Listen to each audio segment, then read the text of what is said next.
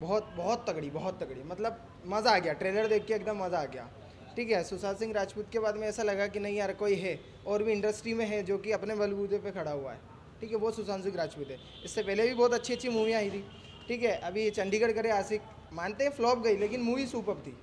ठीक है, one time watch मतलब एक दो बार तो देख ही सकते हैं। नॉर्मल टाइम पास टाइप से देख सकते हैं, नहीं देख सकते एक्टिंग सुपर। ठीक है, इससे पहले अंधाधुन थी अंधाधुन भी एक नंबर मतलब सुपर मज़ा आ गया कुछ भी बोलो मज़ा आ गया।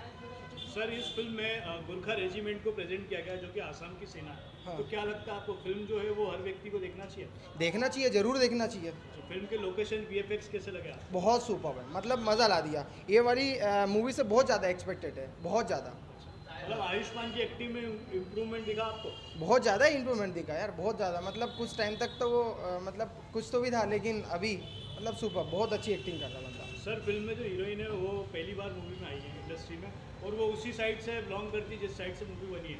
तो उनका रोल कैसा लगा वो भी बढ़िया है, एक नंबर एक्टिंग है। मतलब देखो फ़र्स्ट मूवी है। फ़र्स्ट मूवी में हर कोई वो बोलते हैं ना कि फ़र्स्ट इंप्रेशन ही लास्ट लास्ट इंप्रेशन ठीक है। सॉरी फ़र्स्ट हाफ़ इंटरवल के पहले अच्छी है या बाद में? दोनों ही अच्छी यार दोनों ही बढ़िया दोनों बढ़िया बहुत बढ़िया। अच्छा फ़िल्म में एक्शन के बीच में ड्रामा के बीच में कहीं लव स्टोरी को भी डाला है? तो लव स्टोरी किस तरह से बेहतर लगती है?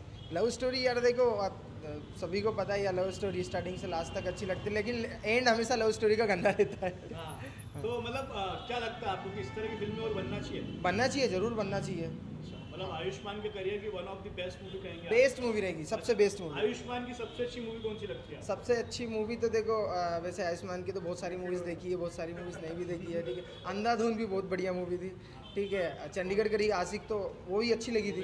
कॉमेडी में थी पर बढ़िया लगी थी बहुत चोट हो जाती बेचारे चोट हो जाएगी तो बेचारा इधर कट जाता है लेकिन समझ जाता बाद में वो। अच्छा आउट ऑफ़ टेन कितने स्टार देंगे? Out of ten seven to eight eight thank you okay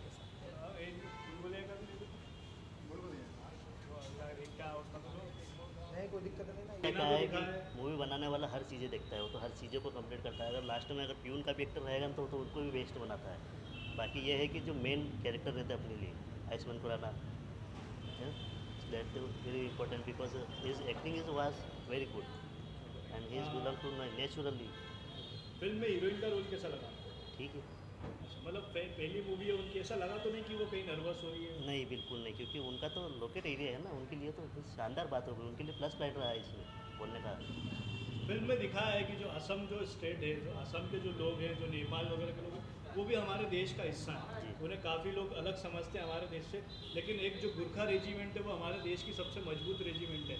हमारे देश की सबसे मज़बूत सेना है। इस तरह की चीज़ें फ़िल्म में दिखाई गई है तो कितनी अच्छी लगती है देखने में स्क्रीन बिल्कुल साफ़ और क्लियर दिखाई गई वो दिखा भी नहीं सकते वरना उनका सर्टिफिकेट पास नहीं हो पाता।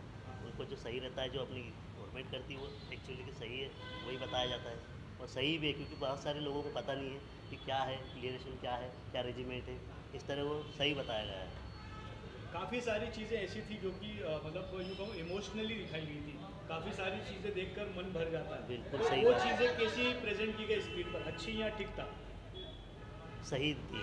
मेरे मायने में तो सही है वो। क्योंकि आर्मी के ऊपर ही next month next week movie आने वाली मेजर जो कि साउथ से बिलोंग करती। है। हाँ। क्या लगता है आपको ये मूवी उसके टक्कर की है? बिल्कुल हो सकती है। देखो क्या होगा टक्कर तो देती है। वो कस्टमर में टक्कर दे या पैसे में टक्कर दे या पब्लिक सिटी में टक्कर दे ऐसा कुछ नहीं होता है। बाकी मूवी तो अपनी अपनी मूवी अब अपन रेडी ले लेंगे। रेडी तो अपनी जगह रहेगी। बॉडीगार्ड अपनी जगह है। बाकी मिक्सअप ये है कि उसमें स्टार एक ही है उनके एक्टिंग का अलग अलग मायने देखे जाएँगे उनके क्या व्यूज़ है वो सब अलग देखे जाएँगे। टैलेंट हर बार बढ़ता है कम तो होता नहीं है कुछ नई चीज़ें जुड़ती है उसमें। बिल्कुल मेजर डायरेक्टर का काम कैसा लगा? डायरेक्टर ने तो सुपर करा है। ने इतना सोचा उसने बनाया डायरेक्ट करी जब तो इतना बड़ा ब्लॉकबस्टर दे पाए वो। बैकग्राउंड म्यूज़िक कैसा लगा? क्योंकि इस तरह की फ़िल्मों में बैकग्राउंड म्यूज़िक अहम रोल अदा करता है बिल्कुल डिपेंड करता है क्योंकि आज अपनी इंडिया की टेक्नोलॉजी में इतना सब डेवलप हो रहा है ये सब वी से कमाल है और उससे जुड़ी हुई जो भी चीज़ें हैं टेक्निकली बहुत काम आ रही है। अच्छा आयुष्मान खुराना की आपने लास्ट आर्टिकल 15 मूवी देखी थी? उस समय पहले आई थी। हाँ जी बिल्कुल ठीक अच्छा उस तरह में उस फ़िल्म में भी उनका एक डार्क रोल था।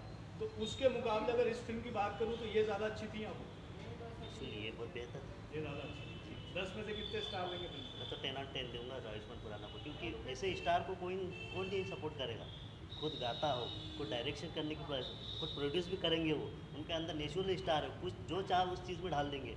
ऐसा साचा है उसमें अपने आप में खुद सिंगिंग करते हैं। क्यों नहीं करेंगे यार वो? इसलिए मैं तो टेन टेन दूँगा।